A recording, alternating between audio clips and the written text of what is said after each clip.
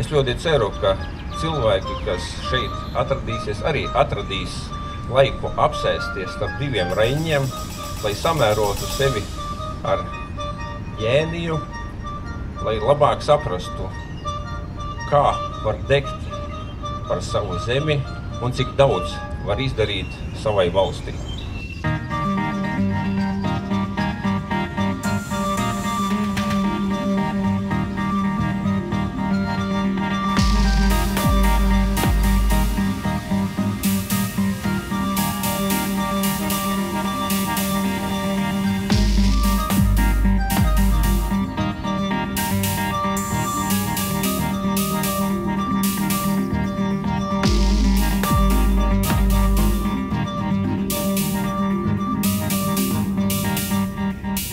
Visu nozīmes jau pieliek visam tas, kas uh, skatās uz pasauli. Tas jau pabeidz šo te.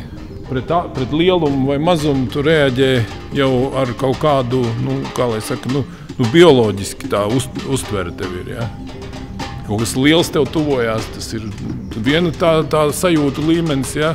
un, un, un, un kaut kas mazā, mazais, tas jau ir cits. Ja? Tā kā gan uh, gan šī ķermenisko attiecību izspēle, gan, gan kaut kādu konceptuālo attiecību izspēle notiek. Kas darbu nedara, tas par darbu runā. Kas darbu nespēj, tas darbu kritizē. Kas darbu dara, tas klusē un darbs par viņu runā. Es klusēšu.